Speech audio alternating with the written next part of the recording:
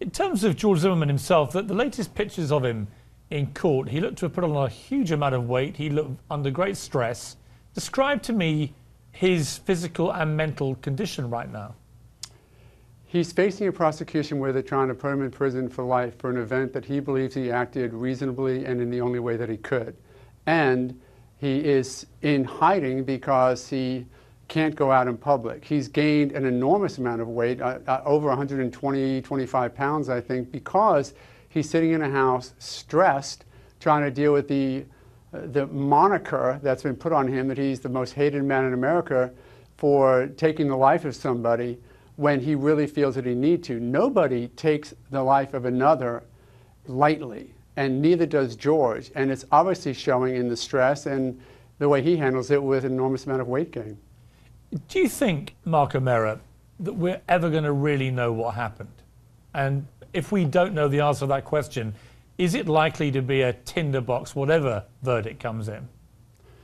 There was somebody, I think it was on your program, Piers, who said a long time ago that no matter how this case ends up, it's not going to end well for America. He was a defense attorney out of New York. And I said to you off air that I'm very concerned that that's exactly what's going to happen. I think that no one who doesn't want to believe in the jury system and the criminal justice system will be happy with the results one way or the other.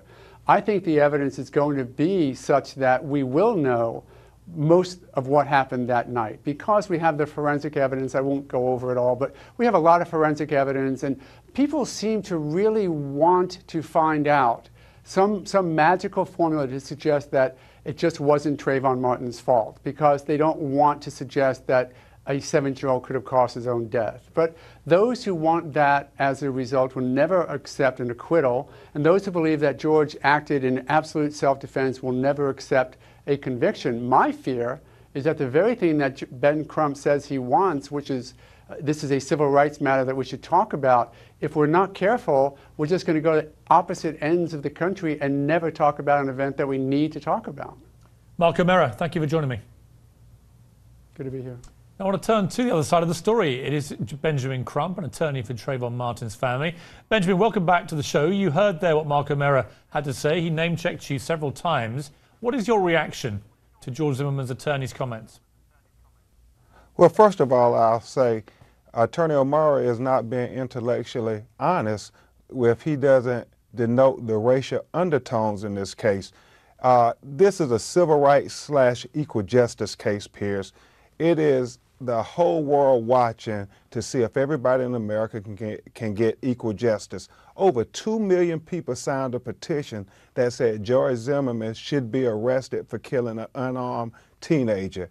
There were protests and rallies all over the country, in fact, all over the world, that said you cannot send this irresponsible message that you can shoot an unarmed teenager and not even be arrested, go home and sleep in your bed that night. And so there's a, a big element of civil rights in this matter.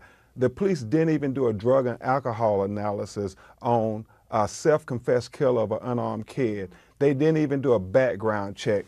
They took his word as the gospel. They didn't knock on doors to see if this was somebody's kid.